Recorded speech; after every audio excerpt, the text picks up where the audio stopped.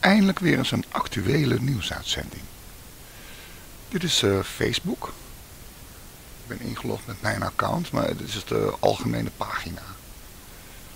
Dan kan je al je, je Facebook vrienden hun postjes zien. En de post waar we nu naar kijken, dat gaat over een poster. Namelijk een homo-poster. En dat gaat om het kledingmerk Suit Supply.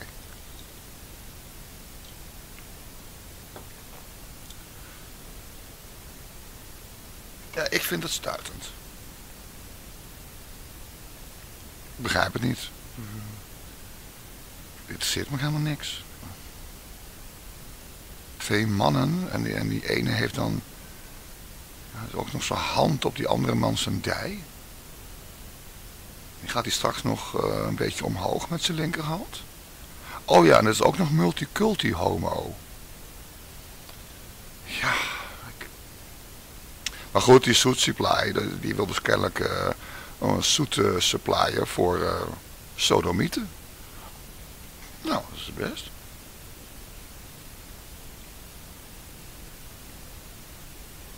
Ik vind het stuitend. Kijk, pak even het artikeltje erbij. Hier dan een klikje op geven, heel voorzichtig. Hier op klikken. Hier. Even het hele artikel erbij pakken. Dit staat op nu.nl. Deze poster heb ik zelf ook gezien, die hangt ook hier in Arnhem. Door heel Nederland zijn de afgelopen dagen meer dan 30 abris met posters van de nieuwe campagne van het kledingmerk Soet Supply ingegooid.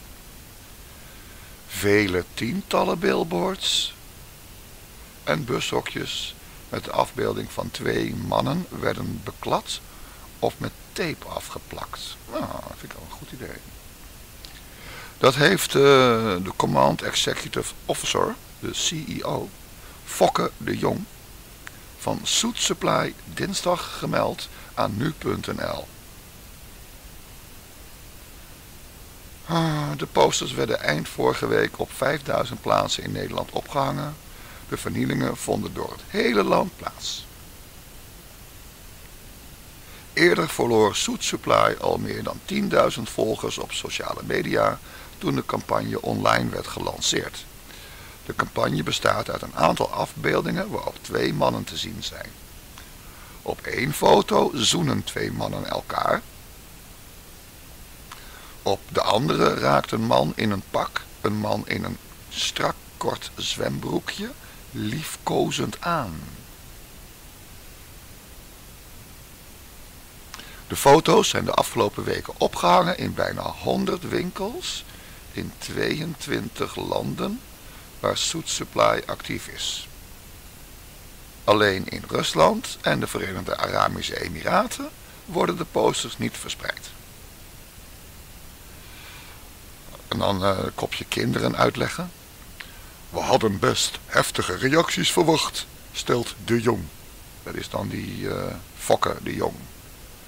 Maar niet in deze mate. En zeker niet in Nederland. Ik heb ongelooflijk zin om te gaan braken. En dat wil ik wel even uitleggen waarom. Want ik vind dat porno seksueel getinte meuk, dat is voor kleine kinderen. En voor kleine kinderen is het ook niet goed. Maar daar gaat het toch helemaal niet om. Je moet reclame maken voor je kledingmerk. Maar kennelijk wil Soet Supply, die wil uh, homo's. Homo's die lekker uh, in mijn Soet Supply ga ik uh, midden op straat lopen zoenen. Want in mijn Soet Supply zoet, dan mag dat van Soet Supply. Nou, dan is dat hun doelgroep. Ik vind het best. Ik koop echt geen Soet Supply hoor. Voor hetzelfde geld loop ik met een zoet supply zoet over straat. En dan komt er zo'n man op me af. Die legt zo zijn linkerhand op mijn dij. En die gaat zo langzaam omhoog. Om te kijken of ik wel een mannetje ben. Dat ik zeg, hé hey man, ga weg. En hij zegt tegen mij, ja maar jij hebt een zoet supply pak aan. Dan mag het toch? Dan wil je het toch? Die gaat verdamme.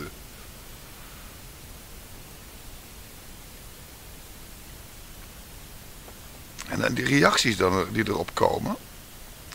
Dit is van een man en die heet Mark Bosch. En volgens mij ken ik hem. Ja, het is, het is een, een gemeenschappelijke vriend van de moeder van mijn kind. En dan zegt hij dus, bij de man- en vrouw reclame piept bijna niemand.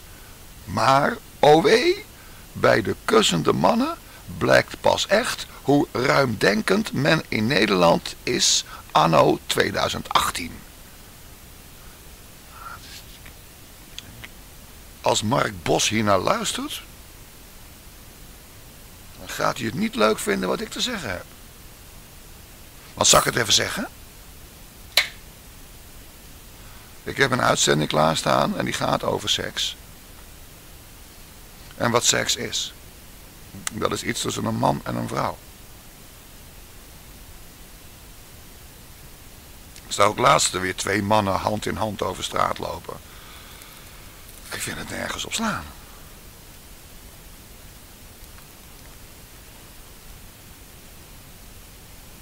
Seks, dat is iets dat vindt plaats tussen een man en een vrouw. En dat kan je op allerlei manieren doen. Dansen is een vorm van seks. Ja, de hele uitzending moet je me even naluisteren wat ik er allemaal over vertel. Maar kussen en een beetje tegen elkaar aanhangen en lalalala doen, dat is niet per se seks.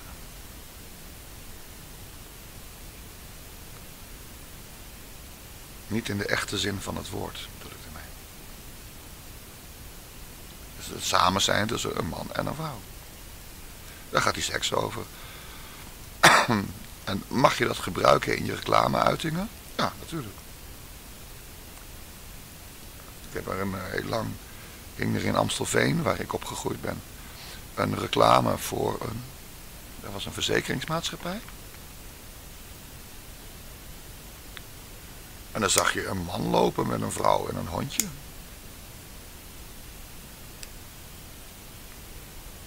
Soort nationale Nederlander reclame. Ja, dan lopen een man en een vrouw, die lopen, ja, dat is een beeld hoor. Niet eens een foto. Die lopen hand in hand. En die man heeft dan een, uh, een paraplu. En, ze hebben een, en hadden een hondje bij zich. En daar stopt het zo'n beetje mee. Want het is heel makkelijk om mensen daar een beetje gek mee te maken.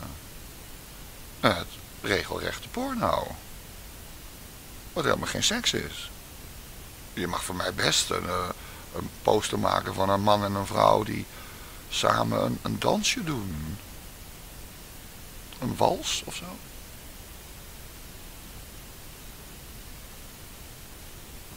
Maar een man en een vrouw die aan het tongzoenen zijn.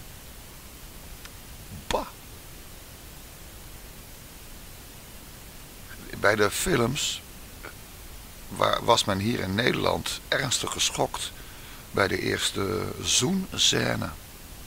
Tussen een man en een vrouw. Dat was uh, Humphrey Bogart en die andere.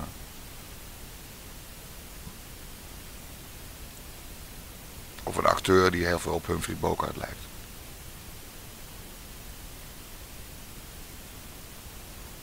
Daar moet je tegenwoordig naar Netflix kijken. Man. Kan niet op. De hele, ik vind het bij Netflix echt stuitend hoor. Ik hou punt 1 niet van zoenscènes. Echt. Sorry dat ik echt zei. Ik vind het niks toevoegen aan de boodschap van de film. En toen gingen Peter en Gerarda vol op de bek. En dat moet dan heel uh, ja, esthetisch. Uh, hoe het ook alweer? En die seks die dan functioneel is of zo. Functionele seksscènes. Nou, die bestaan helemaal niet.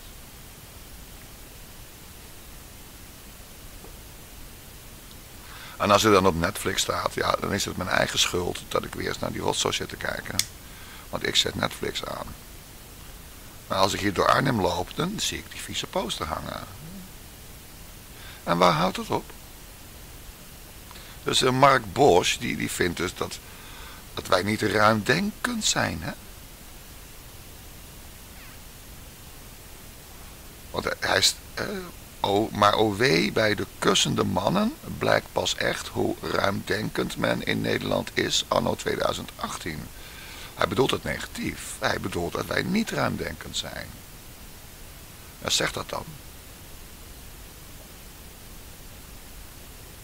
En waar stopt het? Dus, om even grappig te beginnen. Uh, je hebt de, de Hare Krishna. Van Hare Hare Krishna Krishna.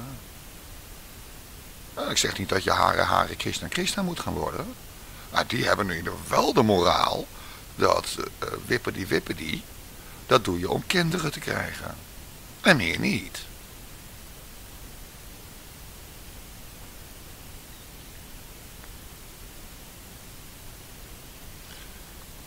En de andere, de mensen die dus de seks voor de lol doet, ja, die krijgt er nooit geen genoeg van. Die, wil steeds meer weer verder. Dan krijgen we dan straks ook uh, posters voor uh, toiletreiniger. En dat gaat er dan om dat uh, ja, een echtpaar of een stel, die doen aan urineseks. Want dat deed Donald Trump ook. Oh, dan mag dus Mark Bosch op dat moment zijn ruimdenkendheid laten zien.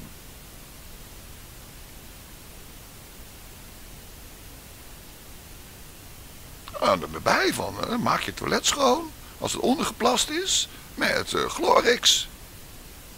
En dan zie je zo'n vrouw op de rug liggen met zo'n zo'n spuit alsof het een walvis is.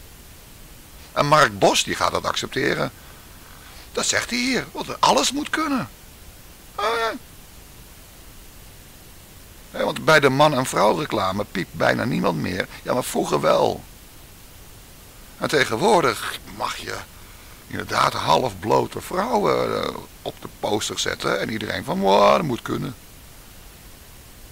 En Mark Bos is er erg tevreden over. Nou, oké. En dit moet volgens hem dan ook kunnen. Nou, gaat hij dan denken over urineseks. Golden shower seks. Gouden douche. En dan die andere. Luierseks. Zie je het al voor je? Een reclame voor Pampers. En dan zie je zo'n man op leeftijd. En die ligt dan in, een of ander verpleegsterbedje. Met een luier om. En dan zo'n, misschien wel een man erbij. Ja, waarom niet? Je kan toch ook luier seks doen met mannen? Of eerst luier seks met vrouwen. En daarna, als Mark Bos daaraan gewend is, dan ook luier seks tussen twee mannen. Dan loop je lekker met je kind over straat. Het kind vraagt van, papa, wat is dat? Ik had er vroeger alleen een luier om. Dat ik zeg, ja kindje, maar dat is nou maar een deel van de marketing hoor. Want als je je als fabrikant alleen maar richt op de baby's die een luier moeten hebben, ja, dan mis je een stuk van de markt. En eh, dat wordt nu doorgezet. De oudere mannen willen ook weer eh, die luier aan. En lekker poepen in de luier. En Mark Bos die gaat bij ons voorop. En die, is, die, die moedigt de, de ruimdenkendheid aan. Of misschien dat Mark Bos denkt, wacht nee, het, is, uh, het houdt hier wel bij op hoor. Je hebt gewoon die sodomieten die je dan hier bezig ziet en die gaan bij elkaar vol op de bek. En die ene heeft een bril en die andere niet. En meer is er niet aan de hand hoor. En daar stopt het heus mee. Ah, oké. Ik hoop dat Mark Bos daar gelijk in heeft. Dat het allemaal wel meevalt. En wat mij betreft eh, hoeveel, hoeveel honderden, duizenden posters zijn er wel niet? Nou, sloop ze allemaal. Of moet ik met mijn 60 jaar, uh, met mijn spuitbus die ik niet meer heb? Nee, ik heb er nog wel eentje. Dat ik erop schrijf, uh, viespeukerij. In het kader van de reclame. Wat mensen in hun slaapkamer doen, moeten ze zelf weten. Dat jij seks wil hebben met een man, of je wil alleen maar seks met een vrouw, dan ben je dus eigenlijk homoseksueel. Of monoseksueel. Ben je niet eens biseksueel. Maar als het voor jou allemaal zo strak is en het is je hele leven, ja, doe het lekker. In je eigen slaapkamer. Ja? Met de gordijnen dicht.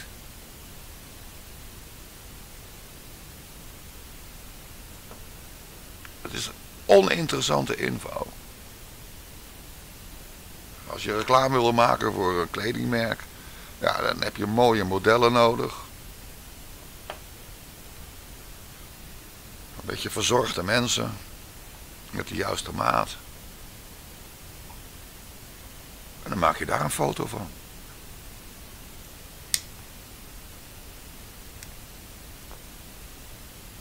Of je pakt het nog dieper aan als je een goed reclamebureau in de arm neemt. Die vertaalt jouw kledinglijn naar een gevoel. Dan krijg je een uh, reclamecampagne waarin je foto's ziet van mooie stranden of iets met meeuwen of juist konijntjes. Van die leuke knuffeldiertjes. Dat je goed subversief speelt. Maar dit is niet subversief. Dit is plat.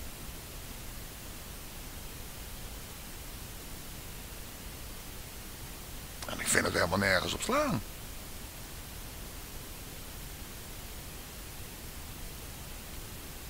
Ik ben helemaal niet tegen, ik, ik zou die, deze manier van leven niet willen verbieden. Dat gaat me dan ook weer te ver. Dan krijg je de slaapkamerpolitie. En dan moet iedereen verplicht een camera in zijn slaapkamer hebben, zodat uh, gecontroleerd kan worden. Of ze het wel alleen met, uh, met verschillend geslacht doen. Nou, dat wil ik ook niet. Ik wil geen camera in mijn slaapkamer. Namelijk. Dus dan moet je het maar toestaan. Maar deze openlijkheid, dat hoeft van mij niet. En het valt bij niemand goed hoor. Eh, ik ken geen mensen die dit, behalve dan Mark Bosch.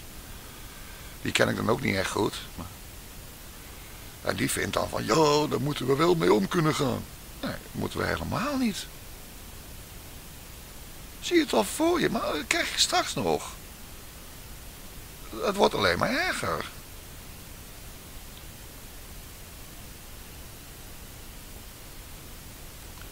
En seks is belangrijk. In, in die uitzending over seks. Dus beluister je dan nog maar een keer. Lekker eten koken voor een ander. Als een vorm van seks. Samen genieten. Eén zijn. En dan heb je één zijn in het vlees.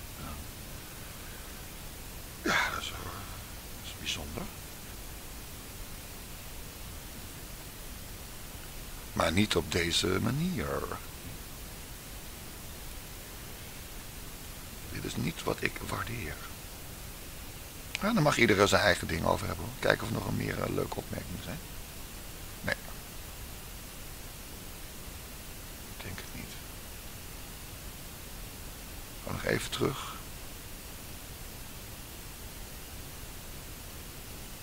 Oh, dit is ook wel een mooie. Oh, die, dan ga ik die er even hierna pakken. Dan doe ik nou even een stopje. En dan pak ik de volgende. Dus op zijn hamburg zeg ik heel snel tjus. en dag lieverd.